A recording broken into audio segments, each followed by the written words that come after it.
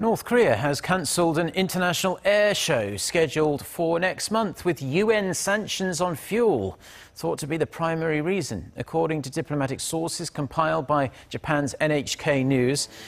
No official reason has been given for the cancellation, but it's thought the regime is looking to cut down on waste after UN sanctions on imports of aviation fuel really started to squeeze the regime's resources. The Wonsan International Friendship Air Festival was set to show off several of the North's aircraft, from MiG fighters to commercial Air Koryo planes.